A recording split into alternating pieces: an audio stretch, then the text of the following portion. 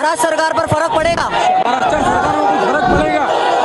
महाराष्ट्र की सरकार पर। अभी सिर्फ़ झलक देखे है वो। हाँ, मुझसे कहते हैं कि तुम आ नहीं सकते हैं करके। जो मुख्यमंत्री के गढ़ में आ गया पुलिस स्वागत के लिए तैयार है मुलुल टोल पर। रोक लिया जाएगा काफ़ी। भी तैयार है। हम भी तैयार हैं। हर लिहाज से तैयार है। ये इम्तियाज़ जलील चुनाव के लिए तो नहीं कर रहा है ऐसा आरोप लग रहा है। लाहौल वाला कुत अल्लाह अगर कोई मुसलमान है तो ऐसा सवाल कर नहीं सकता है।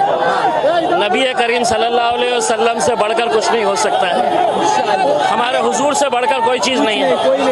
ऐसे पचासों एमएलए और एमपी की सीट कुर्बान उनके लिए।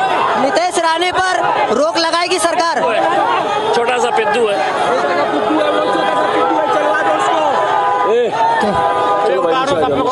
थैंक यू भाई।